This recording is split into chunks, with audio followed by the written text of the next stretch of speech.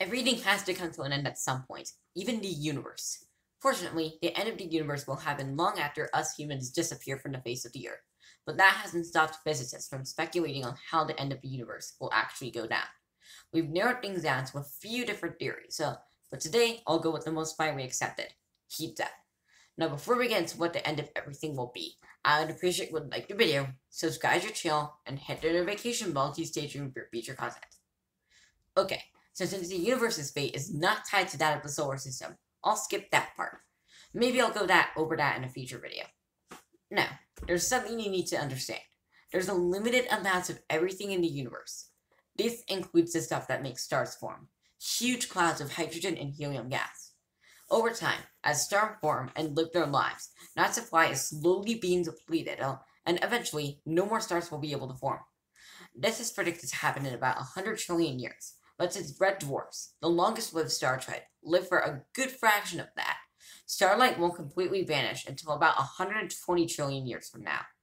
This marks the beginning of the degenerate era of the universe, and during this period, the universe will be littered with stellar remnants, so white dwarfs, neutron stars, and black holes.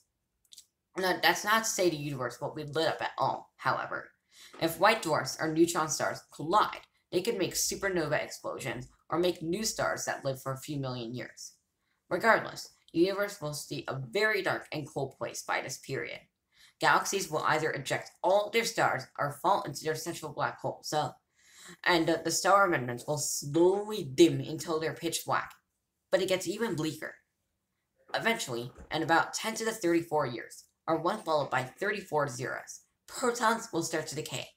For those not in the know, protons are essential. Without them, matter as we know it wouldn't exist. That timescale that I listed is the proton's estimated half-life. That is, the estimated time it'll take for half of all protons to decay. Uh, the process will repeat over and over again, with proton counts being slashed in half every 10 to the 34 years, until none remain. No more stellar remnant. Uh, that is expected to happen in about 10 to the 40 years, and after that point, matter will cease to exist. No more stellar remnants, no more planets, only black holes and electrons will remain. Fortunately, proton decay is still unproven, and might not even exist.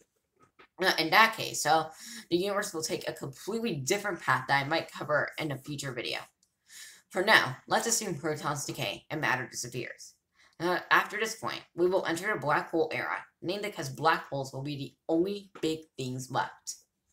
However, even black holes will disappear, with no more mass to feed them, they will slowly evaporate over long time scales. A black hole the mass of the sun will take 10 to the 66 years to evaporate into nothingness. Supermassive black holes will take even longer, with the most massive one estimated to evaporate in a googol years. That is, 1 followed by a 100 zeros. When each one disappears, they will disappear in a burst of energy, briefly lighting up the universe around it.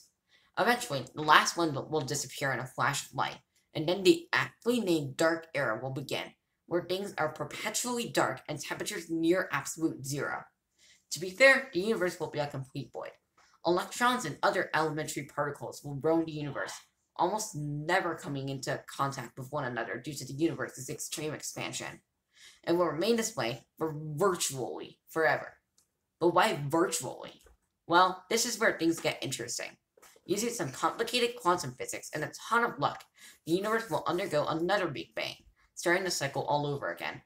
This will probably take a very, very, very long time. Uh, a period of time so long that there is not enough storage space on the entire planet to represent all the zeros in it. However, chances are, it will eventually happen. Okay, this might cause a little bit of an internal crisis in your head. I mean, we cannot comprehend literally nothing those extreme timescales, and whatnot. Again, however, this will take trillions of years before the process even starts to happen, and much longer before it ends. So relax, you won't even see it happening. But in the meantime, I hope you enjoyed the video, and as always, I would appreciate would like the video, subscribe to channel, and hit the notification bell to stay tuned for future content. Thanks, and have a great day.